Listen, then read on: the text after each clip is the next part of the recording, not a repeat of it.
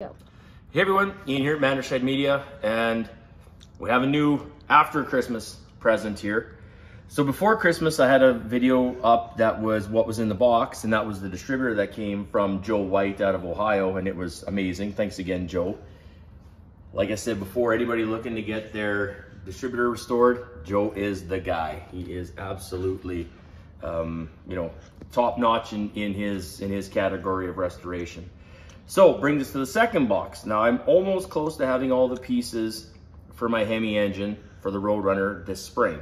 So what's in here is the valve covers. So huge shout out to Jordan. Jordan is a, a collector, a big deal Mopar collector uh, in Ontario. And I met him just through, you know, trying to find parts for my engine and he's been just spot on awesome. And I just really do want to thank Jordan before I even crack these open.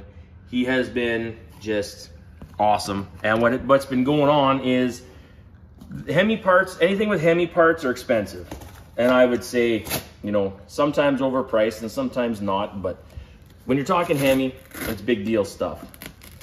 So I was looking for 1970 Hemi valve covers and Jordan was was more than helpful. He's actually sold me a set that he had for his, but uh, yeah, worked out in my favor.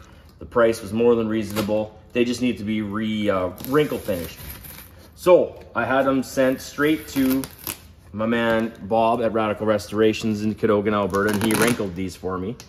And Jordan also had the factory oil cap and NOS breather 1970 that he also was willing to sell me. So again, I'm forever grateful for, for meeting Jordan in this, in this event.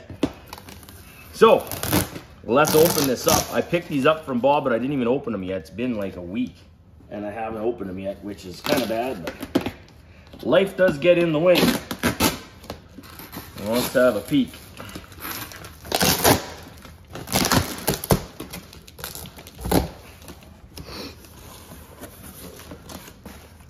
These are PCV grommets. Those are reproduction. Oh yeah, look at that. Oh man. That is dead sexy. Again, Mopar or car car lovers. Yeah, these are dead sexy. If you have no interest in cars like the distributor, this is not going to interest you.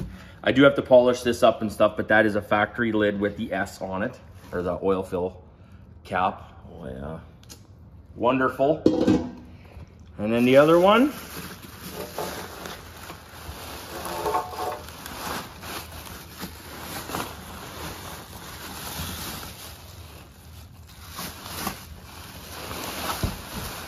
Look at that.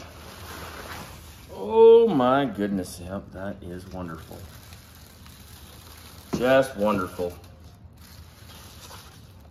Yeah, super clean. So, thank you to Bob at Radical Restorations for putting the wrinkle on them. Thank you to Jordan for actually selling me these and we're working on a deal on exhaust manifolds, which again, it's a, it's a long story that I'm not going to get into, but there were some expensive ones that definitely I was intrigued to purchase, but um, obviously like anything, we're doing this on a budget, but uh, yeah, this is wicked. So thanks again. Like, share, subscribe. Um, yeah, tell all your friends. Yeah, thanks again, Jordan. Thanks again, Bob.